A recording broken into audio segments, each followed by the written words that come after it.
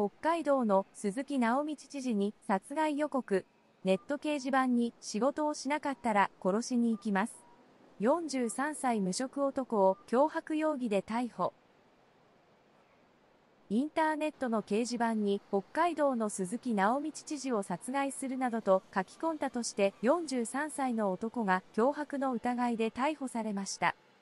逮捕されたのは大阪府吹田市に住む無職の43歳の男です。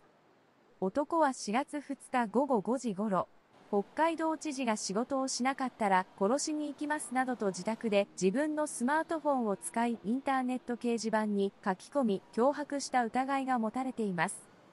道庁から2日に北海道知事に殺害予告をしている人物がいますと警察に通報があり事件が発覚。警察がネットの書き込みなどを調べ、容疑が固まったとして5月1日に男を逮捕しました。男は鈴木知事とは面識はなかったということです。調べに男は私がやったことですと容疑を認めています。警察は犯行の動機や余罪などを詳しく調べる方針です。